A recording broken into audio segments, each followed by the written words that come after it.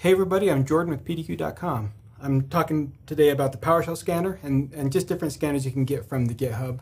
Uh, hopefully you've been you've been using this and you find a lot of value, uh, but we're just kind of highlighting we have some built-in scanners for you or scanners you can get from GitHub or if you want, and this is ideal, if there's something you've written that you're super proud of or you think would have a lot of value, put in a pull request and we can add it to that so everyone everyone can use that that one. Uh, so the way to get that is you're going to want to go to you can some version of Git. You can use the command installer that we have in deploy for you uh, built in, or you can use Git desktop.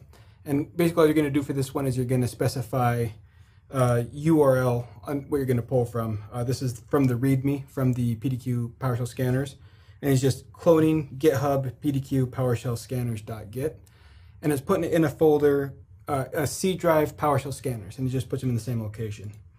Uh, this way, if something gets updated, something gets corrected, you don't have to go through and make the change in the PowerShell yourself. You can just repull from Git and it's going to update your scanners for you. Uh, and I guess to highlight it, this time we're going to go over Chrome extensions. So options and scan profiles. I'm going to not build a new one. We're going to go to import because this was built for us. That's what the point of the Git was. Uh, PowerShell scanners, and we're going to look up Google Chrome extensions.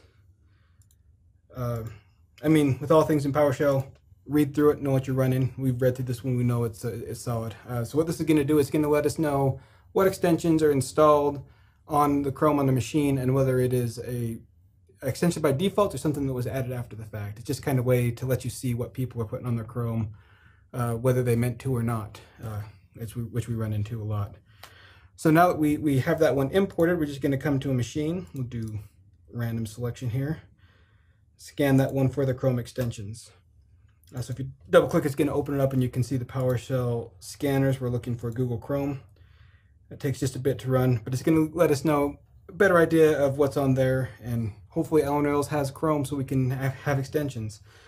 Uh, so you see here, we've got the Web Store, Docs, Google Drive. There's just some like the Bookmark Manager. I still haven't turned the highlighter on. I should really do that uh, that lets you know whether it's there by default. It kind of lets you, it just gives you a peek into what people are putting on Chrome as it's easy and quick to install those on Chrome and they're not always good for your environment.